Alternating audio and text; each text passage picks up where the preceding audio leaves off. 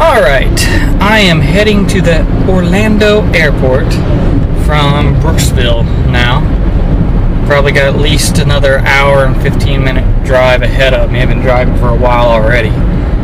Um, yeah, my vacation is pretty much over now. It's just getting on the plane, going to Atlanta, got a layover, then back to Dayton and driving home to Trenton.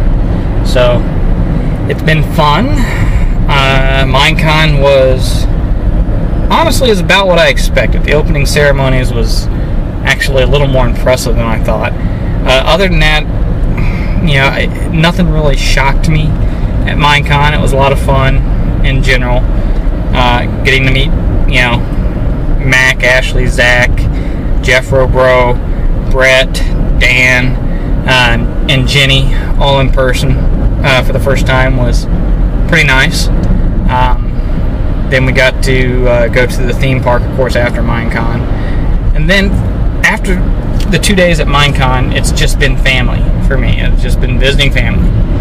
Drove uh, through Tampa over to Clearwater, visited my aunt for the day, and we went out to dinner with my uh, cousin, my uncle, and cousin's girlfriend.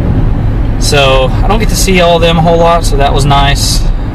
And then uh, after dinner, I drove to Brooksville and just stayed a few days with my grandparents. Didn't leave the house one time. And honestly, that might have been my favorite part, but I know it was my favorite part of the vacation. Just being able to relax. Uh, just sitting around the house doing nothing. And when I say nothing, I don't, even like internet, I have no internet there. So the things I normally do every day, I didn't have to worry about them. I got to sit back, watch Wheel of Fortune and Jeopardy every night with Grandma and Grandpa. We played uh, Hog-Eye one night with a couple other relatives that came over. Um, played dominoes in the evenings, uh, other than Hog-Eye. Uh, that was our main activity.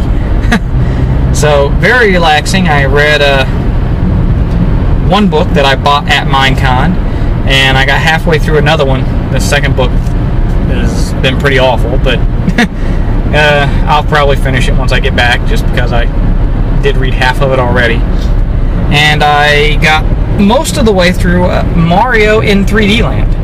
Uh, I've had that game forever since it came out, and I have not yet played it. It was in the shrink wrap still, and I don't have very much further than that to go. I think I got like three worlds to beat. I beat the game with Mario, and then you know you have to save Luigi, and it opens up you know basically the other half of the game, and I'm I only got three more worlds in that part of the game to do, and I'm done. So that is my, has been my vacation. Uh, I did go to SeaWorld, uh, so yeah, that that was in there for one day. But other than that, that has been my vacation. Anyways, I look forward to getting back online soon. Uh, hopefully, I have at least been in frame for part of this video. I'm not the vlogging type, and I certainly have never done it while driving.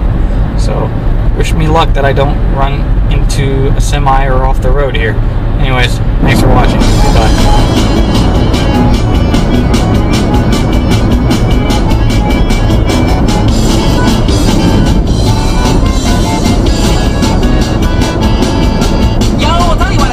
So tell us what you want, what you really, really want. I'll tell you what I want, what I really, really want. So tell us what you want, what you really, really want. I wanna, I wanna, I wanna, I wanna, I wanna, really, really, really. I want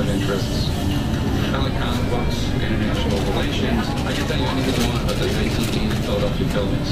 Love movies, military, business, or the 1982 Philadelphia 76ers. There's no shortage of things I don't know about. I was told there was going to be no math on this. A show like this allows me to